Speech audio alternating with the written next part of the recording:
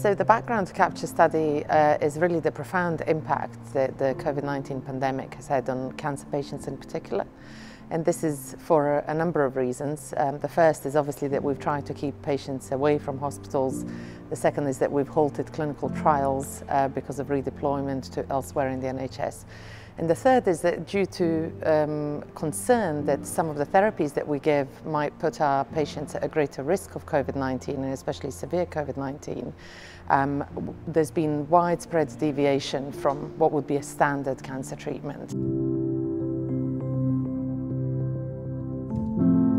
We're collecting samples from three groups of participants. Uh, we've got samples from patients with cancer and with either suspected or confirmed uh, COVID-19 infection, um, cancer patients without COVID-19 infection and some healthcare workers who may or may not have the COVID-19 infection.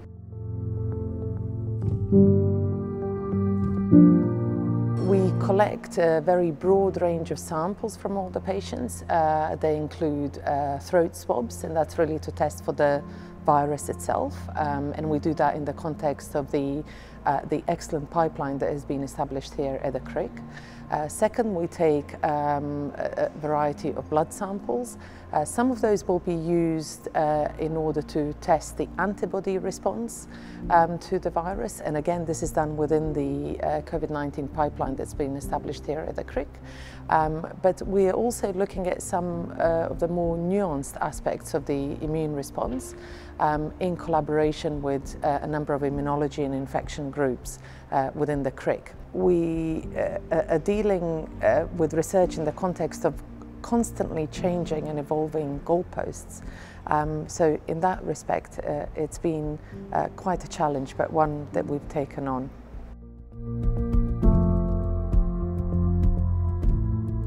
We have a very large group working on this project. We work really closely with the Royal Marsden Hospital um, where the samples are being collected um, and we also have a lot of collaborations in the Crick so we're working with various other groups here. Like from the start of the pandemic, I really had the feeling that I want to do something and really participate in research about it.